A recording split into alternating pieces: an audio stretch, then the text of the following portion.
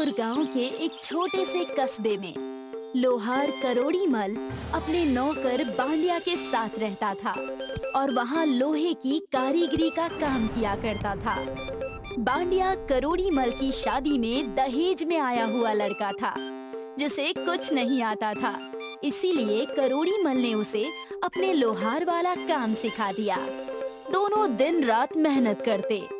और गाँव के लोगों के लिए लोहे के बर्तन बाल्टियाँ और कई सारे सामान उन्हें बनाकर दिया करते थे जैसे तैसे उनका गुजारा हो रहा था।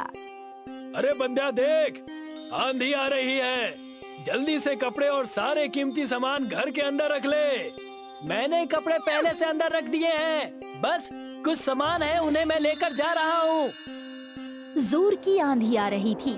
तब करोड़ी मल की नज़र ऊपर आसमान में पड़ी।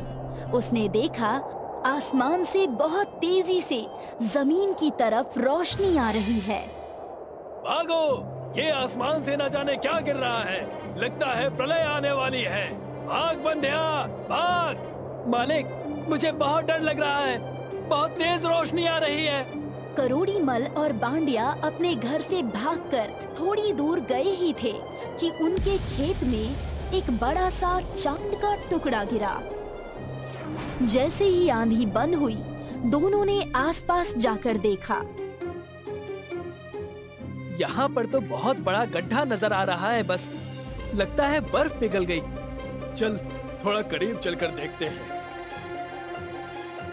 गड्ढे के अंदर से तो बहुत तेज रोशनी आ रही है। ये देखिए। जा गड्ढे में कूद कर देख क्या हुआ है। मैं क्यों जाऊँ? सिर्फ़ तुम्हें ही अपनी जान प्यारी है क्या? मैं तो नीचे जाते ही मर जाऊँगा। मुझे तो ब्लड प्रेशर की समस्या है। ये भी अब मुझे ही करना पड़ेगा। सेठ करोड़ी मल अंदर गड्ढे में जाकर देखता है। अंदर गड्ढे में दबे उसे चाँद के छोटे छोटे टुकड़े मिलते हैं। उस टुकड़े में इतनी रोशनी थी।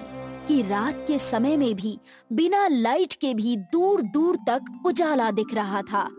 जैसे ही करोड़ी मल गड्ढे से ऊपर आया उसके हाथ में चाँद के टुकड़े और उसकी रोशनी देखकर बांडिया वहाँ से डर कर भाग गया। रुक जा क्यों डर रहा है?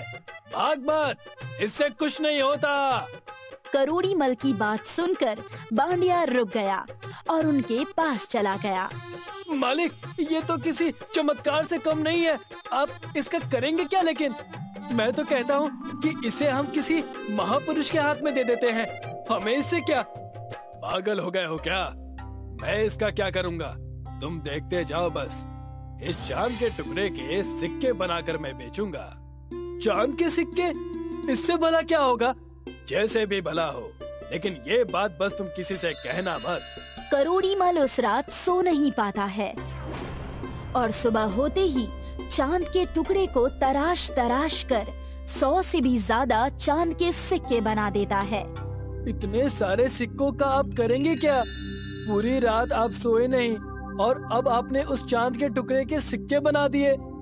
इससे इतनी चमक आ रही है कि इस सिक्के से मैं पूरी दुनिया को अपने कदमों में झुका सकता हूँ। सारे बाज़ार और सारे शहर में ये खबर फैल जाती है कि करोड़ी मल के पास चाँद के सिक्के हैं। लोगों की भीड़ उनके घर के बाहर लग जाती है और लोग उसे परेशान करना शुरू कर देते हैं। अगर तुम मुझे चाँद का एक सिक्का दोगे तो तुम्हें मैं एक लाख रुपए दूँगा। उससे तुम बहुत कुछ कर सकते हो। मैं पूरे दो लाख लेकिन सिक्का मुझे देना होगा। मैं तुम दोनों को दे दूँगा लेकिन एक सिक्के की कीमत एक लाख होगी। करोड़ी मल सौ सिक्कों में से दस सिक्के बेचकर गाँव का सबसे अमीर आदमी बन जाता है और शहर में बहुत बड़ा मकान ले लेता है। बांडिया भी अब अच्छे कपड़े और अच्छी पगार पर उसके पास काम करने लगता है। ये होती है ज़िंदगी। जब तक मैं लोहार था तब तक एक कुत्ता भी हमारे घर नहीं आता था। लेकिन अब देखो चारों तरफ़ नौकर जाकर लेकिन मालिक, आपने ये नहीं सोचा कि हमारी जो पिछली ज़िंदगी थी, वो बहुत अच्छी थी, और अब दो वक्त की रोटी भी हम सुकून से नहीं खा पाते। जब भी मुँह खोलता है तो ऐसे ही अशुभ बातें करता है। जा जा के मेरे लिए फल काट कर ला। बांडिया वहाँ से चला जाता है। करोड़ी मल उन चाँद के सिक्कों में से कई सारे सिक्के बेचकर धनवान हो जाता है।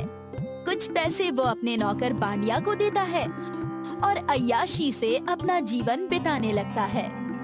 ये लो अपने सिक्के, ये कोई चाँद का टुकड़ा नहीं है।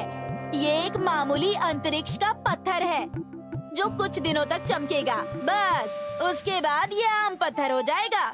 तुरंत वो अपनी तिजोरी की तरफ़ भागते हुए गया और वहाँ जाकर देखा तो सारे सिक्कों की चमक चली गई थी। अब वो बस एक पत्थर थे। ए भगवान ये क्या हो गया? ये कैसा अनर्थ हो गया मेरे साथ? मालिक मेरे ख्याल से अब यहाँ से हमें भाग जाना चाहिए। जैसे जैसे लोगों को ये बात पता चलेगी हमारे घर आकर वो तमाशा करेंगे। लेकिन मेरे पैसे? वरना मैं सबसे कह दूँगी तुम्हारे सिक्कों के बारे में। सबको बता दूँगी मैं। इन्हें जल्दी से जाकर इनके सिक्कों के पैसे दे दे। हमारे पास समय बहुत कम है। हमें यहाँ से निकलकर फिर से अपने गाँव जाना होगा वरना लोग हमें कहीं का नहीं छोड़ेंगे। करोड़ीमल और बांडिया दोनों ही वहाँ से अपने कपड़े कीमती सामान लेकर भागने ही वाले थे कि वहाँ वो सब आ गए जिनको करोड़ीमल ने सिक्के बेचे थे। हमारे पैसे वापस करो वरना हम तुम्हारे खिलाफ पुलिस कंप्लेन करेंगे। मैंने तो पूरे पाँच सिक्के खरीदे थे तुमसे मुझे सारे पैसे दे दो पाँच लाख रुपए। देखते ही देखते पूरे शहर में करोड़ीमल और बांडिया के नकली चाँद के सिक्के बेचने की खबर फैल जाती है। जिन जिन लोगों ने सिक्के खरीदे थे, उन्हें करोड़ीमल ने अपना आलिशान घर बेचकर पैसे वापस किए। कई लोगों के पैसे फिर भी बच गए थे। तब मालिक, याद है आपने मुझे कुछ पैसे दिए थे? मैंने तब सोचा था कि इन्हें सही समय पर इस्तेमाल करूँगा, और अब वो समय आ गया है। अगर मैंने पैसे नहीं दिए तो ये मेरे कपड़े तक उतार लेंगे। हमारा घर, हमारी जमीनें सब चली गई। इसीलिए मैं कह रहा हूँ, मेरे पास पूरे दस लाख रुपए हैं। दस चाँद के सिक्कों के पैसे आपने मेरे पास संभालने के लिए दिए थे। ये लीजिए और अपना सारा कर्जा चुका दीजिए। बांडिया से पैसे लेकर करोड़ी मल सारे कर्ज चुका देता है और अपने गाँव में फिर से लोहार का काम शुरू कर देता है। याद है बंदिया तुमने कहा था, दो वक्त का खाना हम सुकून से नहीं खा पा रहे। ये देखो, अब सब पहले जैसा हो गया। मैं तो पहले से जानता था, जब तक हमारे पास चाँद के सिक्के थे, हम परेशान ही थे। हमने मेहनत बिल्कुल भी नहीं की, और ऐशो आराम की ज़िंदगी मिल गई। ठीक इसी तरह करोड़ी मल अपने गाँव आ गया, और मेहनत करके लोहार का काम फिर से करने लगा। और अपने नौकर बांडिया के साथ ज़िंदगी बिताने लगा।